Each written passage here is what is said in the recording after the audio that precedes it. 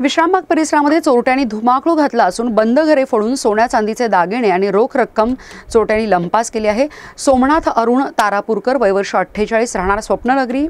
Flat number तेरा विश्रामबाग सांगली यांचे बंद घरातून दोन लाख पंधरा हजार रुपये आणि धनंजय भगवान घोळवे व वर्ष बेचाळीस राहणार गोविंद आर्केट कॉलनी खरे क्लबजवळ जुना धामणी रोड विश्रामबाग यांचे बंद घरातून एक लाख सातशे रुपयाचा मुद्देमाल चोरट्यांनी लंपास केला याची तक्रार विश्रामबाग पोलीस ठाण्यात झाली आहे.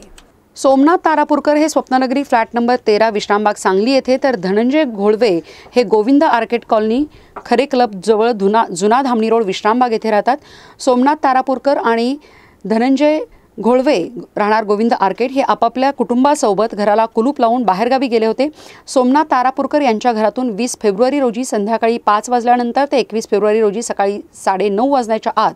अज्ञातांनी घराचे कुलूप तोडून घरातील दोन लाख दहा हजार रुपयांचे सोन्या चांदीचे दागिने आणि रोख रक्कम पाच हजार असे एकूण दोन लाख पंधरा हजार रुपयांचा मुद्देमाल लंपास केला आहे तर धनंजय घोळवे राहणार गोविंद आर्केड यांच्या बंद घराचे कुलूप तोडून घरातील नव्वद हजाराचे सोन्या चांदीचे दागिने आणि रोख रक्कम दहा हजार सातशे असा एकूण एक लाख सातशे रुपयांचा मुद्देमाल लंपास केला आहे याची तक्रार विश्रामबाग पोलीस ठाण्यात नोंद झाली आहे.